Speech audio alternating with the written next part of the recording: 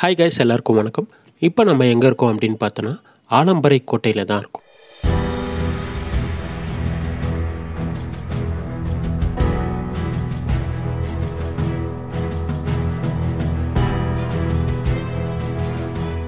கோட்டைன்னு சொன்ன உடனே பெரிய கட்டிடம் இருக்கும். உள்ளே போய் சுற்றி பார்க்கலாம் அப்படின்னு நினச்சி வந்த நமக்கு பெரிய ஆச்சரியம் தான் காத்திருந்தது.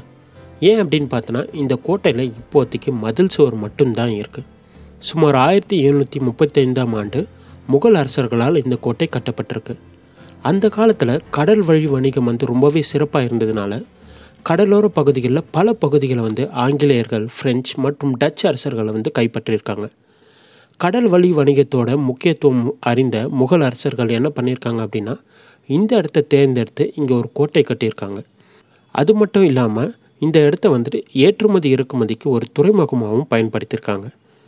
முகல் அரசர்களால் ஆயிரத்தி எழுநூற்றி முப்பத்தி ஐந்தாம் ஆண்டு கட்டப்பட்ட இந்த கோட்டை சுமார் ஆயிரத்தி எழுநூற்றி ஐம்பதாம் ஆண்டு பிரெஞ்சு தளபதி டூப்ளெக்ஸ் செய்த உதவி அதாவது பிரெஞ்சு தளபதி வந்துட்டு முகல் அரசர்களுக்கு செய்த உதவி காரணமாக ஹைதராபாத் நவாப் என்ன பண்ணியிருக்காரு அப்படின்னா இந்த கோட்டையை வந்துட்டு பிரெஞ்சு அரசர்களுக்கு பரிசாக கொடுத்துருக்காரு. அப்புறமா ஆயிரத்தி எழுநூற்றி அறுபதாம் ஆண்டு பிரிட்டிஷ் வந்து இந்த ஃப்ரெஞ்சு இருக்கக்கூடிய பல இடங்களை வந்துட்டு முற்றுகையிட்டு பல இடங்களை வந்து அழிச்சிட்டே வந்திருக்காங்க. குறிப்பாக பார்த்தோம் அப்படின்னா பாண்டிச்சேரியில் இருக்கக்கூடிய பல இடங்களை வந்து அழிச்சிட்டே வரும்போது அப்போ வந்து இந்த இடத்தையும் பார்க்குறாங்க. இந்த கோட்டையும் பார்க்கும்போது அவங்க வந்துட்டு பெரிய பெரிய குண்டுகளை வீசி இந்த கோட்டையை வந்துட்டு பல இடங்களை வந்துட்டு அழிச்சிருக்காங்க.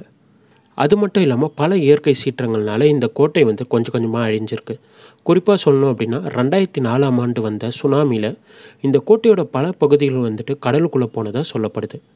இந்த கோட்டை கடலுக்கு ரொம்ப பக்கத்திலே இருக்கிறதுனால இப்போதைக்கு இந்த கோட்டைக்குள்ளே வெறும் கடல் மண்கள் மட்டும்தான் இருக்குது இந்த கோட்டைக்குள்ளே நின்று ரசித்து பார்க்குற அளவுக்கு பெரிய இடங்கள் எதுவும் இல்லை அப்படின்னாலும் இதோட வரலாறு கண்டிப்பாக ஆச்சரிய தர அளவுக்கு தான் இருக்கும்.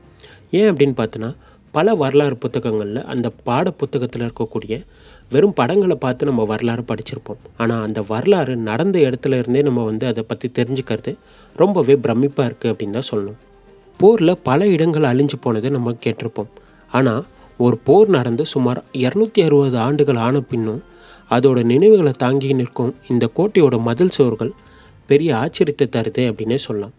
இந்த ஆலம்பரை கோட்டை எங்கே இருக்குது அப்படின்னு பார்த்தோன்னா சென்னை டு பாண்டிச்சேரி ஈசிஆரில் போகும்போது பாண்டிச்சேரிக்கு ஒரு ஐம்பது கிலோமீட்டர் முன்னாடியே இருக்குது இதனுடைய பின்னணியில் இன்னும் பெரிய வரலாறுகள் இருக்குது ஆனால் எனக்கு தெரிஞ்ச கொஞ்சம் விஷயத்தை தான் உங்ககிட்ட ஷேர் பண்ணியிருக்கேன். ஹோப் இந்த வீடியோ உங்களுக்கு பிடிச்சிருக்கும்னு நினைக்கிறேன். மீண்டும் அடுத்த வீடியோவில் சந்திப்போம். அதுவரை உங்களிடமிருந்து விடைபெறுவது சந்திரம்